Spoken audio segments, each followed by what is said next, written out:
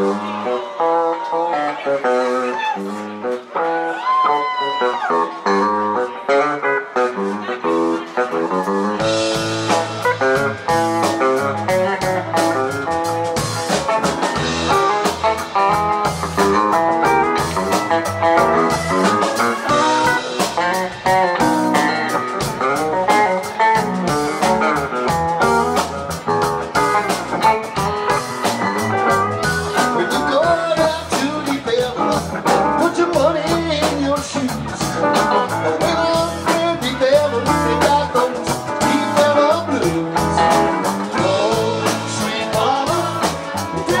up and.